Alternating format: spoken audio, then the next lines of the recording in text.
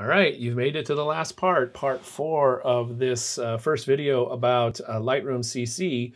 And this part will be about uh, taking the photos we've just exported and uploading them to Flickr uh, for uh, the opportunity to be graded for class. So here's how you do that.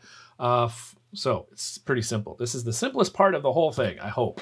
Uh, here's how you do it. So first step is to just launch your web browser of choice and then type in flickr.com. All right, there you go. F L I C K R.com. Uh, log in if you need to. Um, and then um, you should see something that looks like this. So at the top of the Flickr window near the right hand side, there will be a cloud with an arrow pointing up. That's the upload button. So let's go ahead and click that once. It takes you to this screen, the big gray screen with a big blue button that says click, uh, choose photos and videos. So click on that. We're just to choose photos. So we're to click on that.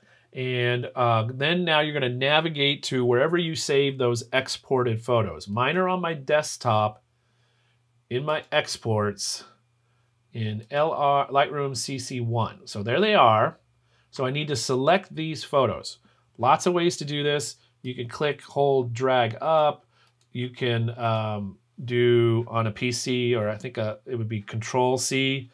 On a Mac, it's Command, I mean, not C, Control A, Control A to select all. So I'm going to do that, Control A. So all those photos should be highlighted, those three photos, okay? Uh, then you're going to click Choose. And um, here's what we're going to do next.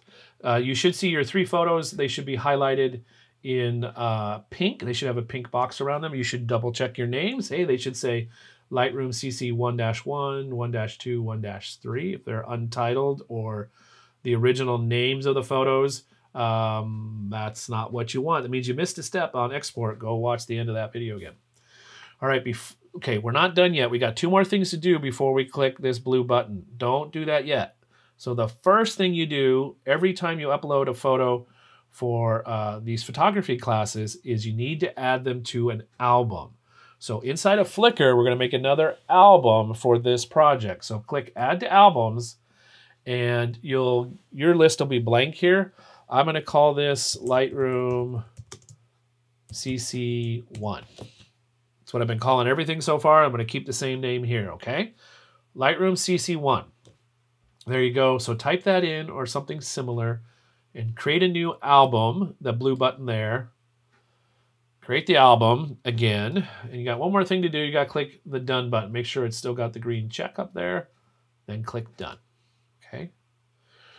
If your photos aren't an album, I probably will not grade them because they're hard to find, hard to know what goes with what. So make sure they're in an album. You certainly at least lose a have a deduction in points. Add groups is our next step. Uh, so you're going to click on add groups. And what you're going to do is uh, find the group for our class. You, that's probably the only group you have.